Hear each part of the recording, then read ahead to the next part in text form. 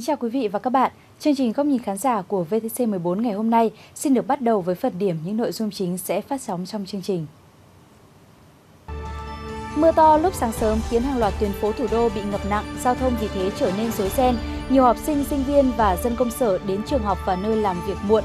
Phản ánh của khán giả Nguyễn Thanh Tùng từ số điện thoại 0988 3 số cuối 894. Xe container mất lái lật ngang đường khiến giao thông trên đường Nguyễn Văn Linh, huyện Bình Chánh, thành phố Hồ Chí Minh ùn tắc trong nhiều giờ. Phản ánh của khán giả Nguyễn Hồ từ số điện thoại 0963 3 số cuối 369.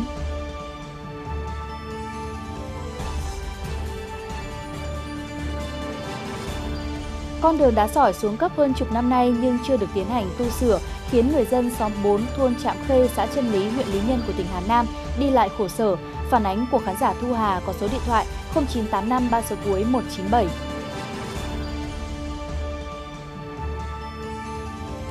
Cảnh báo ô nhiễm nguồn nước đầu vào của nhà máy nước sạch nông thôn ở Hải Phòng. Phản ánh của khán giả Vũ An có số điện thoại 0948 3 số cuối 389.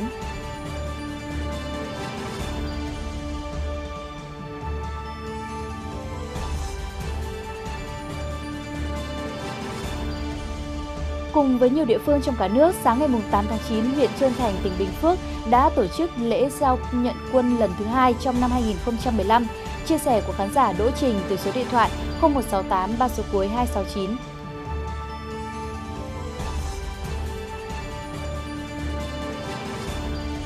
Để nông dân không phải phơi lúa trên quốc lộ, một doanh trại quân đội nhân dân trên địa bàn huyện Diên Khánh, tỉnh Khánh Hòa đã tạo điều kiện cho người dân được phơi lúa trước sân và trên các con đường trong doanh trại.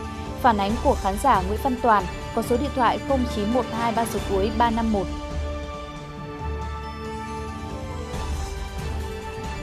Người dân thị xã Hồng Ngự, tỉnh Đồng Tháp đang xôn xao về cây cảnh lạ nở hoa cao hơn 6 mét. Clip do khán giả Trí Nghĩa có số điện thoại 0123 3 số cuối 728 cung cấp.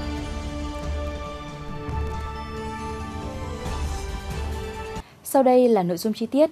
Cơn mưa lớn bắt đầu từ khoảng 5 giờ 30 phút và kéo dài đến hơn 7 giờ ngày 8 tháng 9 xảy ra trên địa bàn Hà Nội không chỉ khiến nhiều điểm ngập sâu trong nước mà giao thông cũng trở nên hỗn loạn. Dân công sở và học sinh, sinh viên rất vất vả mới đến được nơi làm việc và học tập. Ghi nhận sau đây của khán giả Nguyễn Thanh Tùng, sinh viên trường Đại học Quốc gia Hà Nội tại khuôn viên trường. Những hình ảnh này được ghi lại tại trục đường nội bộ trong Đại học Quốc gia Hà Nội khu vực phía trước cổng trường Trung học phổ thông chuyên ngoại ngữ Hà Nội vào khoảng 7 giờ sáng ngày 8 tháng 9. Mặc dù hệ thống thoát nước ở đây đã được nâng cấp liên tục, tuy nhiên trước lượng mưa quá lớn, khu vực này đã biến thành một biển nước. Toàn bộ các sinh viên từ ký túc xá Đại học Ngoại ngữ muốn ra ngoài đến giảng đường, cũng như học sinh trung học phổ thông chuyên ngoại ngữ muốn vào trường đều phải lội qua khu vực này. Điểm ngập sâu nhất qua nửa bánh xe máy. Khán giả Nguyễn Thanh Tùng cho biết thêm, đến khoảng 10 giờ sáng ngày 8 tháng 9, khi mưa ngớt thì nước mới bắt đầu rút và việc đi lại của học sinh sinh viên mới trở lại bình thường. Anh Tùng cũng cho biết thêm, ngoài khu vực trường Đại học Quốc gia, mưa dồn dập trong thời gian ngắn cũng đã khiến hàng loạt điểm bị ngập như phố Đội Cấn, Liễu Giai, Cao Bá Quát, Phạm Văn Đồng, Hoàng Quốc Việt, Phan Văn Trường, Trần Quốc Hoàn, Quang Nhân và Vũ Trọng Phụng. Được biết là cơn mưa lớn vào sáng ngày 8 tháng 9 tại Hà Nội là do tác động của không khí lạnh từ phương Bắc tràn xuống. Hai ngày trước đó thì Hà Nội cũng như nhiều tỉnh thành miền Bắc xuất hiện nắng nóng và không khí lạnh tràn về đã tạo ra sự xung đột giữa hai khối khí mát và nóng, gây mưa rông sấm sét.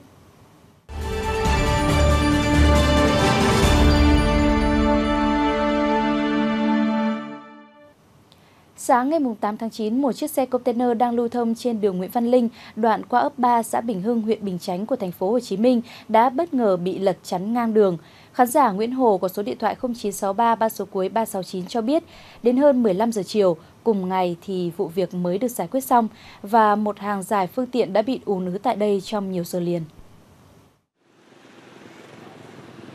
Theo thông tin ban đầu, khoảng 10 giờ 30, xe container mang biển kiểm soát 51C 38074 kéo theo rơ móc biển kiểm soát 52R1215 do tài xế Vũ Văn Huyên, sinh năm 1982, quê Ninh Bình điều khiển, lưu thông trên đường Nguyễn Văn Linh, huyện Bình Chánh, thành phố Hồ Chí Minh về cảng Tân Thuận, quận 7. Khi đến trước địa chỉ B7 trên 12F, đường Nguyễn Văn Linh, ấp 3, xã Bình Hưng, huyện Bình Chánh, xe container bất ngờ mất lái khi ôm cua, khiến chiếc xe lật nhào ra đường. Tài xế phải phá cửa thoát thân.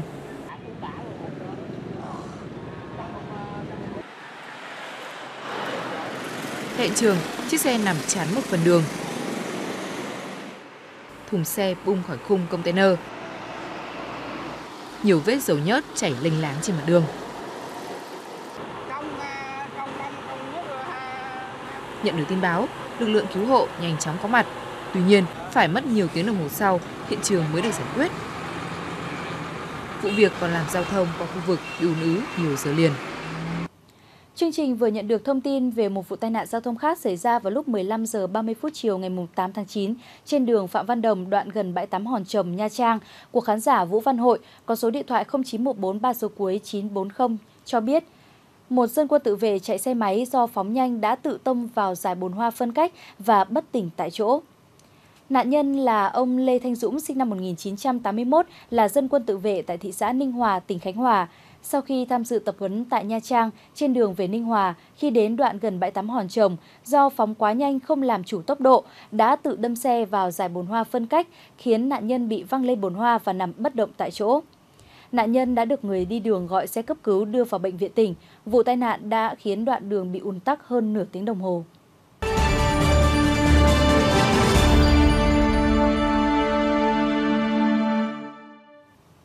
Tiếp theo chương trình, mời quý vị và các bạn cùng đến với phản ánh của khán giả Thu Hà có số điện thoại 0985 3 số cuối 197. Chị Hà cho biết, con đường đá sỏi được địa phận xóm 4 thôn Trạm Khe, xã Trân Lý, huyện Lý Nhân của tỉnh Hà Nam là con đường huyết mạch duy nhất dẫn người dân sống ngoài đê sông Hồng có thể đi lại buôn bán, trao đổi hàng hóa với người dân sống trong đê. Tuy nhiên, hơn 10 năm nay, con đường ngày càng xuống cấp nghiêm trọng.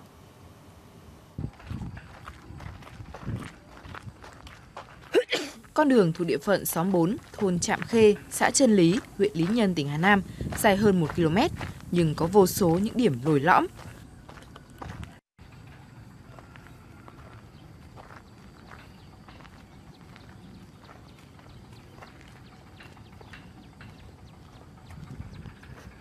Lòng đường có nhiều cục đá lớn nhô lên, kết hợp với cát sỏi, gây khó khăn cho việc tham gia giao thông của người dân địa phương.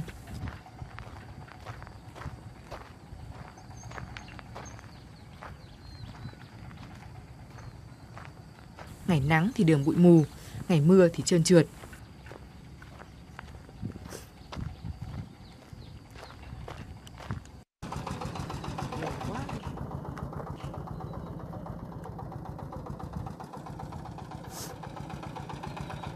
Vô số đá sỏi và những mô đất to bất thường nằm án ngữ giữa lòng đường chính là nguyên nhân dẫn đến nhiều xe máy, xe đạp bị trượt bánh và ngã.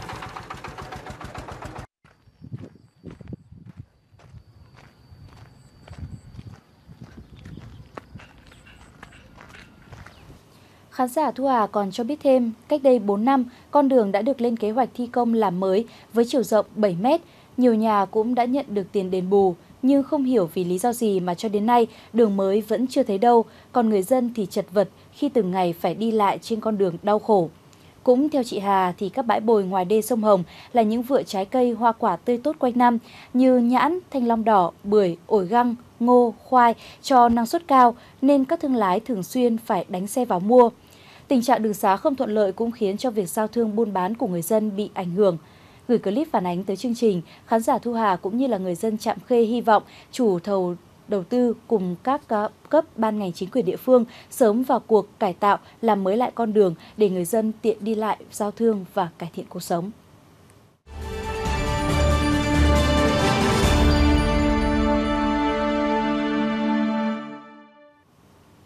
Thưa quý vị và các bạn, nhiều nhà máy xử lý nước sạch nông thôn ở thành phố Hải Phòng hiện nay đang tồn tại những bất cập, chất lượng nước không đạt tiêu chuẩn của Bộ Y tế đối với nước sạch nông thôn.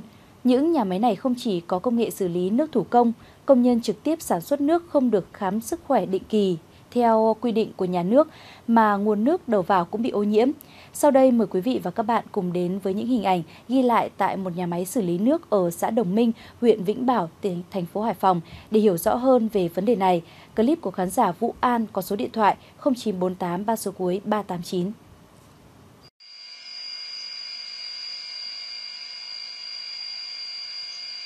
Thời gian qua, nhiều hộ dân ở xã Đồng Minh, huyện Vĩnh Bảo, thành phố Hải Phòng phàn nàn về chất lượng nước sinh hoạt của nhà máy xử lý nước sạch Trung Thu ở làng Bảo Hà có mùi hôi và cặn bẩn.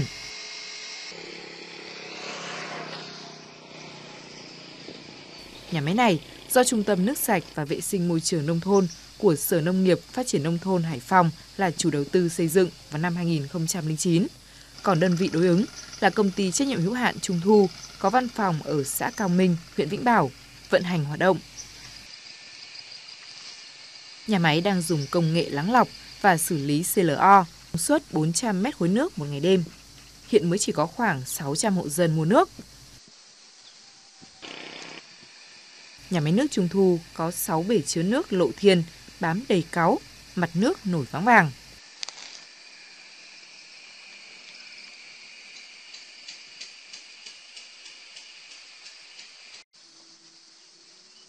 Trên con mương phía trước, nơi cung cấp nước đầu vào cho nhà máy này, có một số vỏ chai thuốc trừ sâu.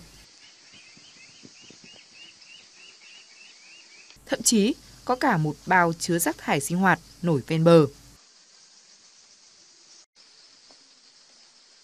Hai đầu mương nước cách nhà máy khoảng hơn 100 mét có cắm tấm biển cấm chăn thả vịt, ngan, nhưng một số nhà dân ở gần đó lại nuôi vịt trong ao thông với mương nước.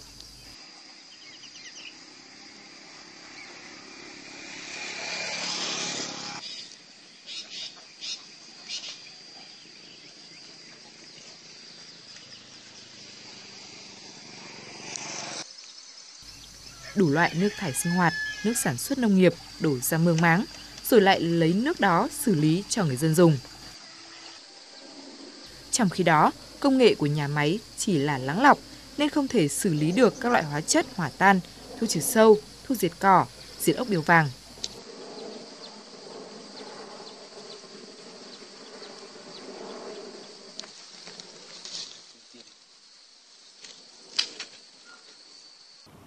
Khán giả Vũ An được biết, trong các địa phương của Hải Phòng thì huyện Vĩnh Bảo bị ô nhiễm nước nặng nhất. Anh An còn được nhiều người dân ở xã Đồng Minh cho biết là ở cạnh đó trước đó đã có một bãi rác bị trôn xuống khi xây dựng nhà máy nước này. Nhiều hộ có mua nước của nhà máy này nhưng hiện nay không dám dùng để ăn uống, chỉ để giặt quần áo vì nước rất hôi, không có mùi clo hay có cặn đục. Có hộ thì phải mua máy lọc nước để lọc lại, xây bể chứa nước mưa rồi quay về dùng nước giếng khoan. Thậm chí từng có một số hộ đã bức xúc phản ánh, phản đối bằng cách là không đóng tiền nước và không chỉ riêng nhà máy nước Trung Thu mà hầu hết các nhà máy xử lý nước khác trên địa bàn thành phố Hải Phòng không đạt tiêu chuẩn số 2 của Bộ Y tế quy định về nước sạch nông thôn. Các nhà máy tồn tại nhiều bất cập, vị trí xây dựng không đảm bảo, gần khu dân cư và nghĩa trang. Trong đợt kiểm tra 100 nhà máy nước sạch vào năm 2014 của Trung tâm Y tế Dự phòng thành phố Hải Phòng cho kết quả hầu hết các nhà máy không đạt tiêu chuẩn, 95 nhà máy có nguy cơ ô nhiễm nguồn nước, 56% số mẫu nước có nồng độ clo dư không đạt tiêu chuẩn vệ sinh. Và hiện nay thì Trung tâm Y tế Dự phòng thành phố Hải Phòng hiện đang lấy mẫu của toàn bộ 189 nhà máy xử lý nước sạch nông thôn trên địa bàn để kiểm tra, báo cáo Ủy ban nhân dân thành phố Hải Phòng nhằm đánh giá chương trình quốc gia về nước sạch nông thôn giai đoạn 2010-2015.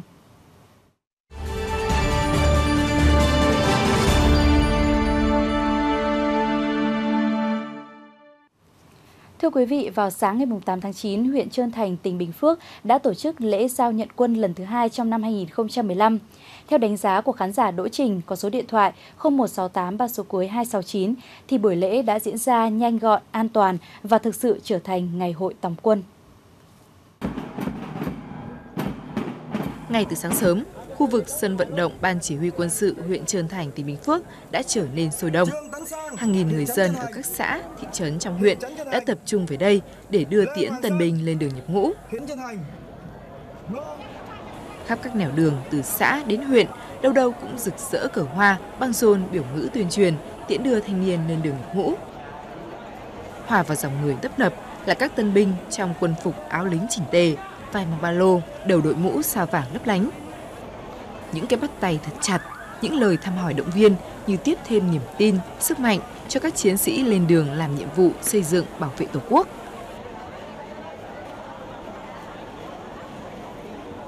Đợt tuyển quân năm nay, huyện Trân Thành được giao chỉ tiêu tuyển chọn 110 tân binh, trong đó có 80 thanh niên bàn giao về quân đoàn 4 và 30 thanh niên giao về Bộ Chỉ huy quân sự tỉnh Bình Phước. còn 5 thanh niên là đảng viên, số còn lại đều là đoàn viên. Theo đánh giá của Hội đồng Nghĩa vụ quân sự huyện, chất lượng của các tân binh năm nay khá tốt, hầu hết đều ý thức được trách nhiệm của mình, mong muốn làm tròn nhiệm vụ được giao và trưởng thành hơn khi được rèn luyện trong môi trường quân đội.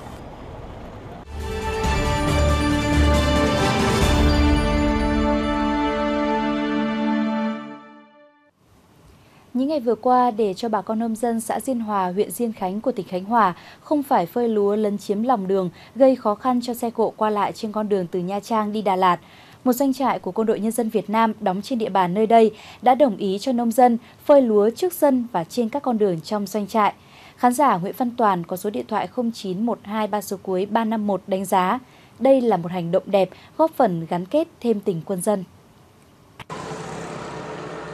Hình ảnh này được ghi lại vào sáng ngày 8 tháng 9 năm 2015 trên tuyến đường từ Nha Trang đi Đà Lạt.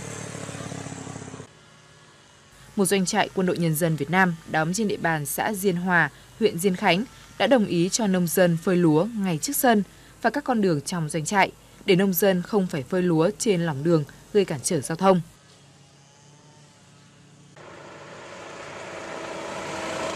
Dù việc phơi lúa chỉ kéo dài trong vài ngày, nhưng đã tạo cho nông dân xã này rất nhiều thuận lợi. Vì trước đây, sau mỗi mùa gặt, thiếu sân phơi nên người dân thường phơi ngay trên đường quốc lộ, gây khó khăn cho xe cộ lưu thông trên đường.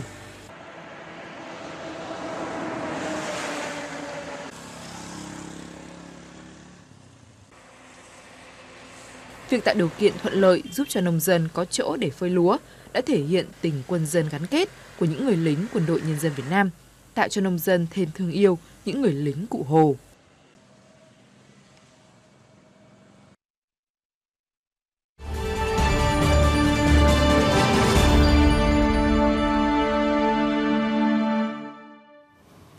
Nhiều ngày gần đây, người dân thị xã Hồng Ngự, tỉnh Đồng Tháp đã xôn xao về cây cảnh lạ nở hoa cao hơn 6 mét mà từ trước tới nay chưa hề thấy. Những hình ảnh về cây cảnh độc nhất vô nhị này vừa được khán giả Trí Nghĩa có số điện thoại 0123 3 số cuối 728 cung cấp tới chương trình. Sau đây mời quý vị và các bạn cùng theo dõi clip.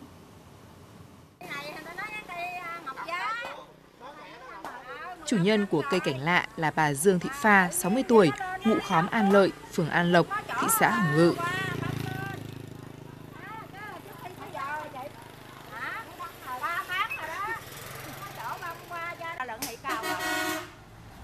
Cây có lá xanh lớn, sọc trắng xanh, hai mép có gai nhọn.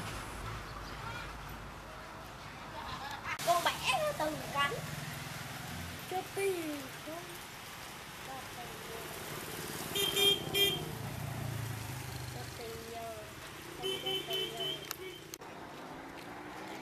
Mỗi lá dài hơn 1,5 mét, rộng từ 10 đến 20 cm.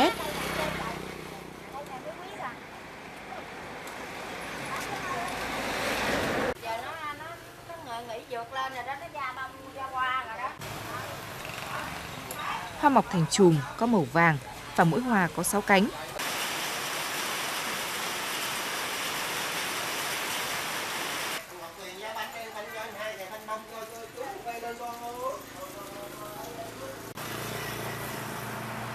Bà Phà cho biết, cách đây 15 năm, một người con của bà từ Thái Lan về đã tặng bà một cây cảnh để trồng trang trí trong nhà. Nhưng một năm trở lại đây, cây này bỗng lớn nhanh và phát triển lạ thường. Hơn 3 tháng về trước, cây có nụ, mỗi ngày cao gần 20cm và hiện nay đã cao hơn 6 mét.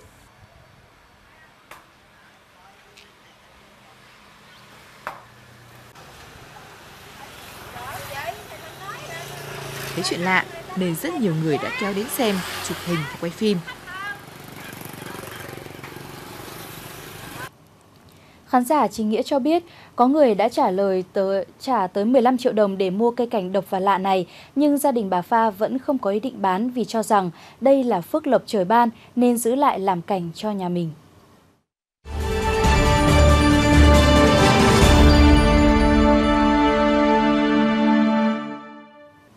Còn bây giờ phần cuối chương trình mời quý vị cùng điểm lại các clip đã phát trong ngày hôm nay.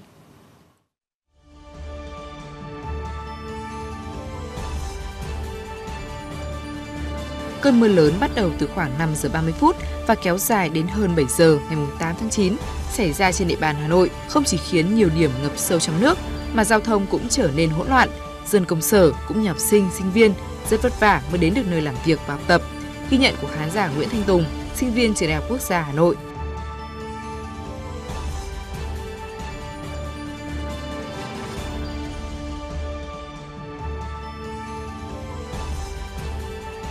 Sáng ngày 8 tháng 9, một chiếc xe container đang lưu thông trên đường Nguyễn Văn Linh, đoạn qua ấp 3, xã Bình Hưng, huyện Bình Chánh, thành phố Hồ Chí Minh thì bất ngờ bị lật chắn ngang đường. Đến hơn 15 giờ cùng ngày, vụ việc mới được giải quyết xong. Một hàng dài phương tiện đã bị ùn ứ tại đây nhiều giờ.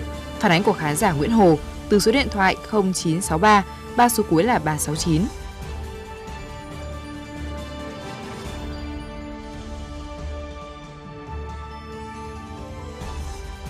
Con đường đá sỏi thuộc địa phận xóm 4, thôn Trạm Khê, xã Trân Lý, huyện Lý Nhân, tỉnh Hà Nam là con đường huyết mạch duy nhất dẫn người dân sống ngoài đê sông Hồng có thể đi lại buôn bán, trao đổi hàng hóa với người dân sống trong đê. Tuy nhiên, hơn 10 năm nay, con đường này đã xuống cấp nghiêm trọng. Mặc dù cơ quan chức năng đã lên kế hoạch làm đường, nhưng không hiểu vì sao đến nay vẫn chưa thực hiện, khiến người dân khổ sở, bức xúc. Phản ánh của khán giả Thu Hà có số điện thoại 0985 3 số cuối là 197.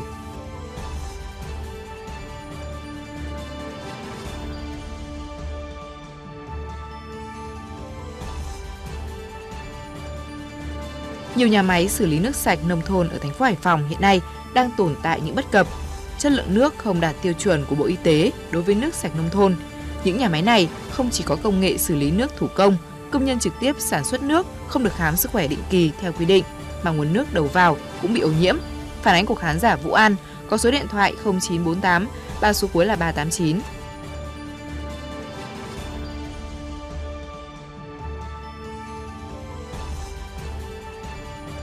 Sáng ngày 8 tháng 9, huyện Trơn Thành, tỉnh Bình Phước đã tổ chức lễ giao nhận quân đợt 2 năm 2015. Đợt tuyển quân này, huyện Trơn Thành được giao chỉ tiêu tuyển chọn 110 tân binh, trong đó có 80 thanh niên bàn giao về quân đoàn 4 và 30 thanh niên về Bộ Chỉ huy Quân sự tỉnh Bình Phước. Chia sẻ của khán giả Đỗ Trình từ số điện thoại 0168 ba số cuối là 269.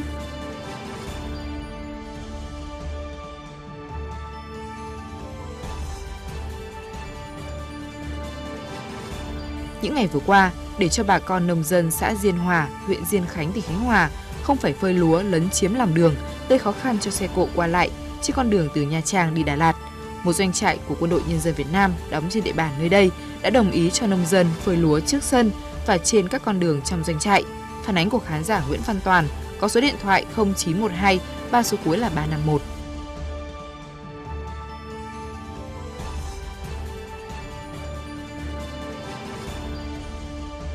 Nhiều ngày gần đây, người dân thị xã Hồng Ngự, tỉnh Đồng Tháp xôn xao về cây cảnh lạ có lá xanh lớn, sọc trắng xanh, hai mép có gai nhọn, mỗi lá dài hơn 1,5 mét, rộng từ 10 đến 20 cm, hoa mọc thành chùm có màu vàng và sáu cánh. Hơn 3 tháng về trước, cây bắt đầu cho nụ và lớn rất nhanh, mỗi ngày cao gần 20 cm và hiện nay đã cao hơn 6 mét. Clip do khán giả Trí Nghĩa có số điện thoại 0123, ba số cuối là 728 cung cấp.